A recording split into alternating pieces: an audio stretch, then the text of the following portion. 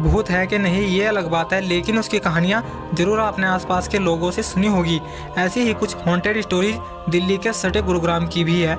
यहाँ रहने वाले लोगों ने इन जगहों पर भूत या फिर उसके साय के होने की बात कबूल की है।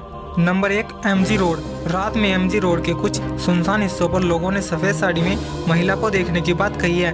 ज़्यादातर कैब ड्राइवर्स जिनका रात में यहाँ आना जाना होता है, उनका कहना है कि उन्होंने एक औरत को यहाँ देखा है, जो अपनी जीभ और हाथ बढ़ाकर उन्हें रोकने के लिए कहती है। स्थानीय लोगों का मानना है कि वहाँ कुछ साल पहले एक औरत की मौत हो गई थी, उसी की आत्मा यहाँ भटकती रहती है। नंबर दो, साइबर सिटी। गुरुग्राम के इस पौष इलाके में एक स्कूल है। इसके बारे में कहा जाता है कि यह बच्चों के कब्रिस्तान पर बना है। इसलिए रात में यहाँ बच्चों के रोने की आवाज़ें सुनाई देती है। इसी वजह से इस स्कूल में कोई भी गार्ड रात में पहरा देने के लिए नहीं रुकता। दो लोग जो रुके थे, वो रात में ऐसे ही डरावनी आवाज़ों से परेशान होकर भाग गए और अपनी सैलरी भी लेने नहीं आए। इस घटना के बाद स्कूल वालों ने पूजा करवाई और लोगों से ये वादा किया कि अब सब ठीक है। नंबर तीन, सैफरन बीपीओ। इस बीपीओ में रोज नाम की एक लड़की काम करती थी। इस कहानी के हिसाब से वो बहुत ही हार्ड वर्किंग थी और छुट्टियाँ भी कम लेती थी। एक बार जब वो कई दिनों तक ऑफ़िस नहीं आई, तब उसके साथियों ने उसके बारे में जानना चाहा। वो उसके घर पर गए, लेकिन मकान मालिक ने बताया कि इस नाम का कोई यहाँ रहता ही नहीं। इसी तरह उन्होंने रोज के घर वालों से संपर्क किया। वहाँ ये जानकर वो हैरान हो गई कि उसकी मौत तो बीपीओ बनने के कई साल पहले ही हो गई थी। बाद में ऑफ़िस वालों को पता चला कि उनका बीपीओ किसी कब्रिस्तान पर बना हुआ है। उन्हीं में से एक की आत्मा यहाँ आई थी।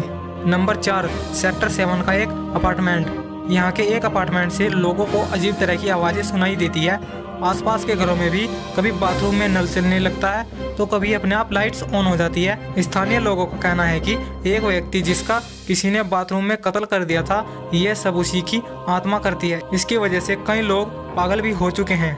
नंबर पाँच, अशोक विहार फ्लाईओवर। इस फ्लाईओवर को भी हॉन्टेड कहा जाता है। लोगों का कहना है कि यहाँ एक महिला दिखाई देती है, जो लोगों को रास्ता पूछने के बहाने रोकती है। जो रुक जाता है, वो खुद अपना रास्ता भूल जाता है और बीमार पड़ जाता है।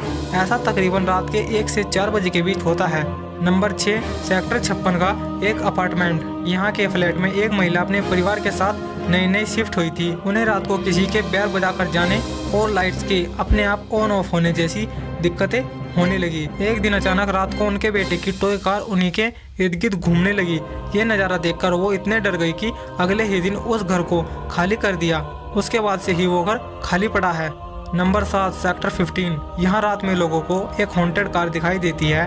ये कार दूसरी गाड़ियों को बहुत ही तेज़ी से ओवरटेक करती है। लेकिन जब लोग उसका पीछा करते हैं तो वो कार कहीं गायब हो जाती है या फिर लोगों का एक्सीडेंट हो जाता है। दोस्तों, अगर आपके पास कोई हॉन्टेड स्टोरी है तो हमें कमेंट करके हमसे शेयर करें और हमारी ईमेल आईडी पर आप उस स्टोरी को शेयर कर सकते हैं।